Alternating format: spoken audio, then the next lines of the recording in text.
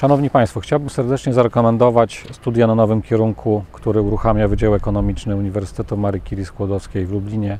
Nowy kierunek ekobiznes to kierunek, który idealnie wpasowuje się w nowe tendencje, które obserwujemy we współczesnym świecie, we współczesnym biznesie i również w działalności instytucji. Jest to kierunek, który będzie prowadzony w wymiarze bardzo mocno praktycznym.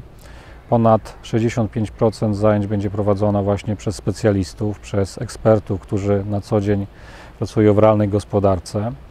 Myślę, że to jest też kierunek, który e, pokaże Państwu to, co jest dzisiaj topowe we współczesnym biznesie, czyli wszystkie kwestie związane właśnie ze zrównoważonym raportowaniem, ze zrównoważonymi inwestycjami w przedsiębiorstwach, ze śladem węglowym, który jest dzisiaj wymagany przez praktycznie cały biznes międzynarodowy, ale też ze współpracą na przykład z kooperantami, którzy w wielu korporacjach są wybierani właśnie na zasadzie udowadniania tego, czy emitują zanieczyszczenia, czy też są jednak w pełni neutralni klimatycznie. Więc te wszystkie zajęcia, te wszystkie przedmioty będą prowadzone właśnie wokół tego tematu, wokół tematyki zrównoważonego rozwoju, ale to jest też kierunek, który bardzo mocno wiąże się z gospodarką miasta, z gospodarką Lublina.